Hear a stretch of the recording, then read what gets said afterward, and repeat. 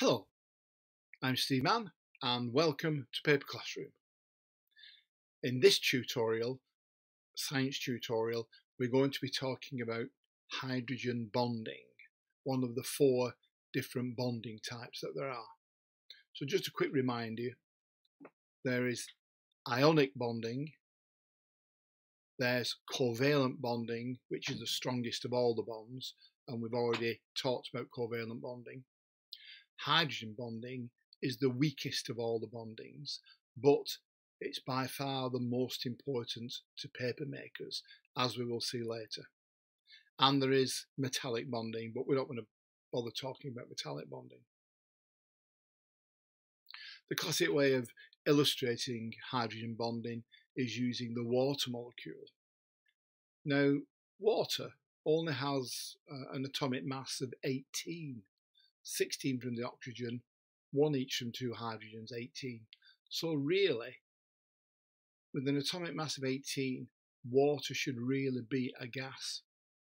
And the only reason it isn't a gas, the reason why it's a liquid, is because water believes it's actually a lot bigger than it really is.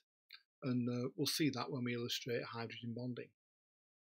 So, here we have two standard hydrogen atoms, hydrogen, atomic number one, one proton, one electron in the K shell. Oxygen, atomic number eight,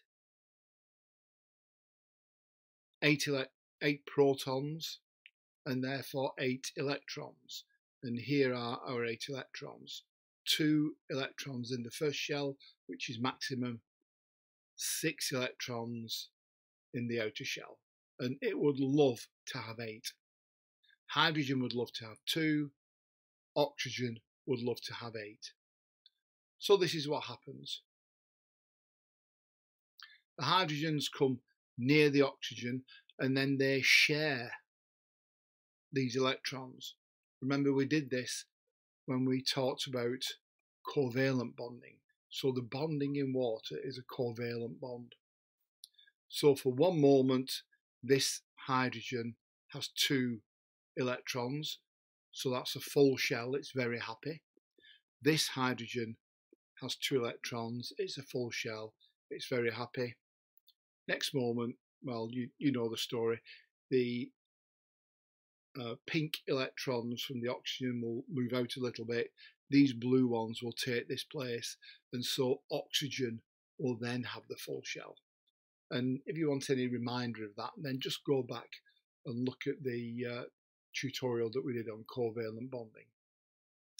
For the moment, we're talking about hydrogen bonding, but I just want to show you what's happening to all the electrons.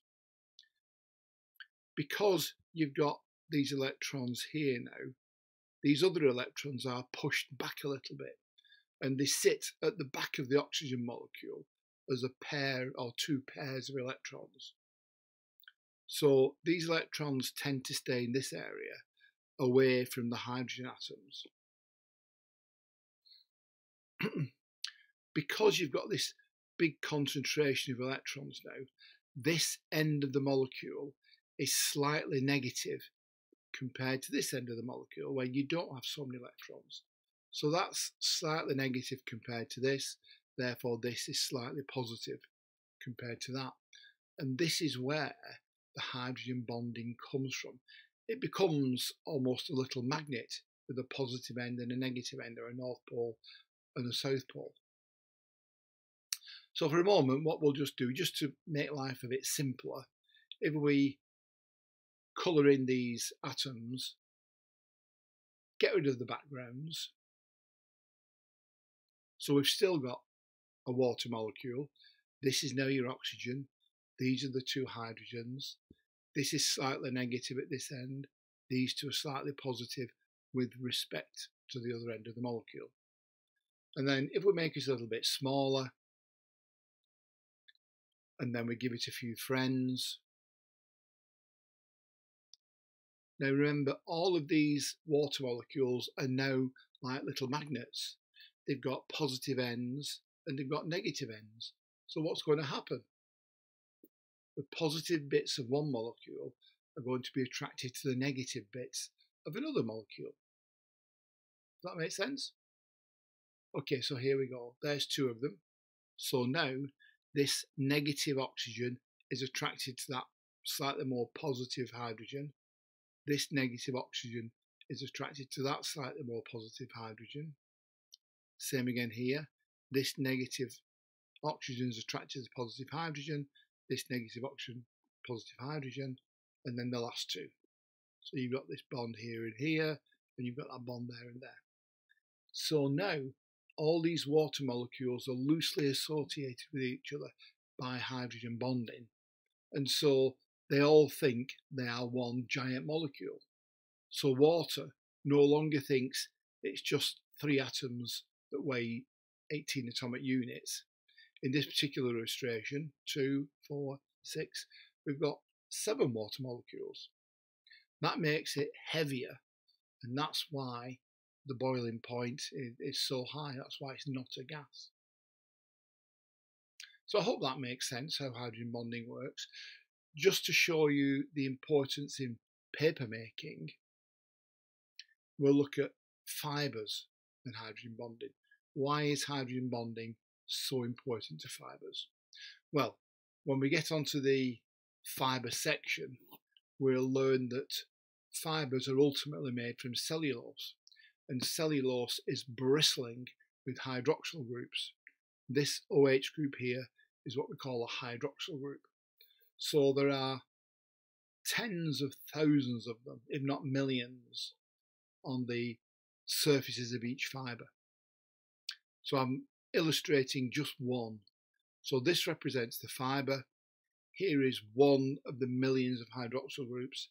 Here is another fibre, and there's one of its millions of hydroxyl groups. Just like water, water remember is OHH. This is very similar, or H fibre. So this oxygen is slightly negative compared to the hydrogen. This oxygen is slightly negative compared to that hydrogen. So what's going to happen is this oxygen being slightly negative is attracted to that positive hydrogen. And this oxygen here, being slightly negative, is attracted to that one, and that will bring them together. And this is the only force, the only bond that holds fibres together. It's entirely due to hydrogen bonding. And the paper maker's job, we can't make hydrogen bonds because we can't make, well, we can't make uh, hydroxyl groups what we can make or help to make hydrogen bonds. The paper maker's job is to expose as many of these hydroxyl groups as we possibly can on the surface of a fibre and then bring them close together so that they can see each other. And then once they get close enough together, then this hydrogen bonding effect will take place. And that's the thing that holds all your fibres together in a sheet of paper. So I hope all that makes sense to you. Watch it again if it doesn't. Have a look at the uh, covalent bonding video if it helps. And thank you for watching this. I hope you've enjoyed it. Please enjoy our other videos and I look forward to hearing your feedback.